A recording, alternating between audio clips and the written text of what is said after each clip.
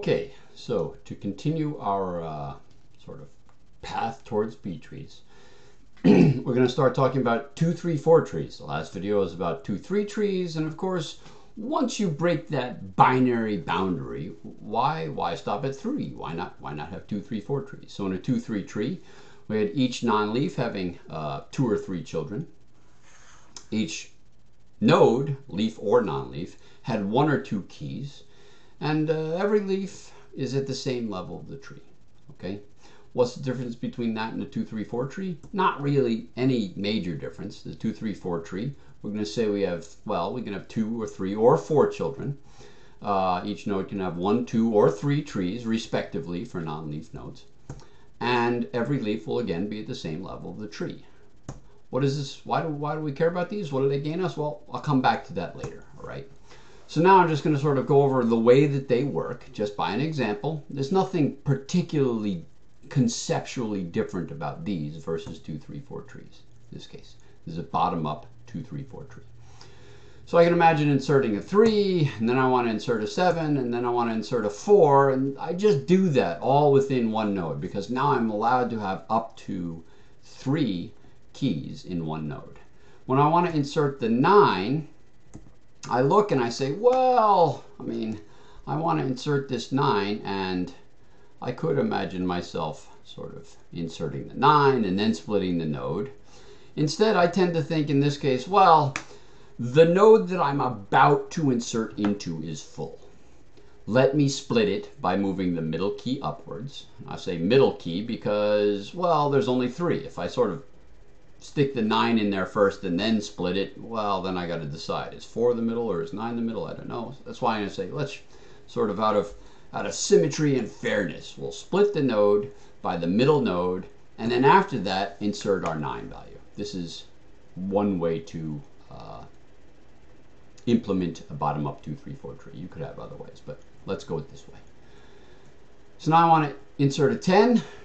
Uh, just like before, I always start at the root. I always start at the root and I say, well, 10 is bigger than 4. Step down to this leaf. Hey, it's a leaf and there's room. Stick the 10 in. Great.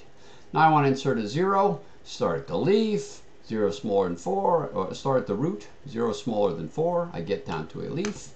Stick the 0 in there. No problems, right? I want to insert a 5. Well, okay, I want to insert a 5. I look and I go, oh, 5 is bigger than 4. I am about to try to stick a 5 into a leaf which is full. So what I want to do is I want to take that 9 value and move it up to its parent, separating, splitting the 7 and 10. So I do that. And after that, I now have room to actually insert the 5 that I'm trying to insert. Now I want to insert a 6, starting at the root, 6 is bigger than 4. It's less than 9. Go to the middle child. Great, there's room for it, right? And that's fine. Now I want to insert an 8. Well, 8 is less than 9, or greater than 4, less than 9. Come to the middle child. The middle child is a leaf and it's full. It's leaf it's a leaf and it's full. It means I want to split it.